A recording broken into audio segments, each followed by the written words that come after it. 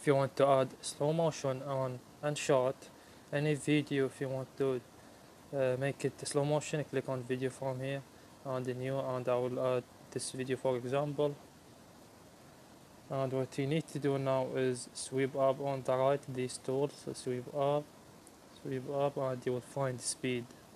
And click on the speed tool tap on it and after that you will tell you if you want fast video on the right from here and if, if you want to slow video slow motion.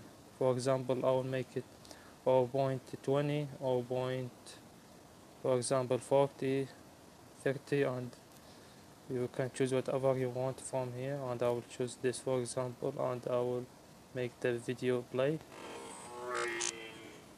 As you see this is very slow video.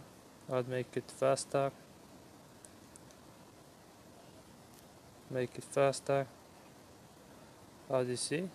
And we have the second option which is curve. If I click on curve from here if I make it from here curve on the down out slide make it slower.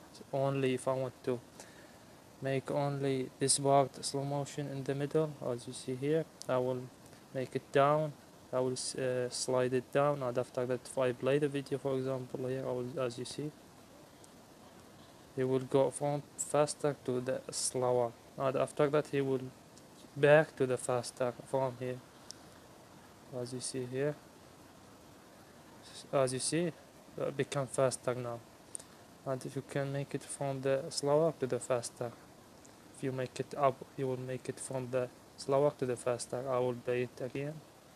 As you see that's it please leave a like on the video and if this video helped you out subscribe to our channel. Thank you